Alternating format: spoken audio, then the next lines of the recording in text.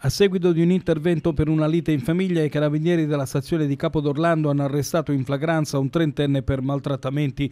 Nel pomeriggio di Pasqua una donna aveva richiesto l'intervento dei carabinieri poiché il marito aveva usato violenza contro di lei. Giunti sul posto i militari dell'arma hanno trovato l'uomo in stato di alterazione che continuava ad inveire contro la moglie tentando di colpirla. La donna è stata soccorsa dai militari ed accompagnata in ospedale mentre il marito è stato bloccato. A seguito di verifiche sono emerse ripetute aggressioni e continui maltrattamenti nei confronti della moglie nel corso degli ultimi mesi, con la collaborazione della task force specializzata costituita dal Comando Provinciale di Messina per il contrasto alle violenze di genere sotto la guida della Procura della Repubblica di Patti, l'uomo è stato arrestato e condotto presso la casa circondariale di Barcellona in attesa della celebrazione del rito direttissimo.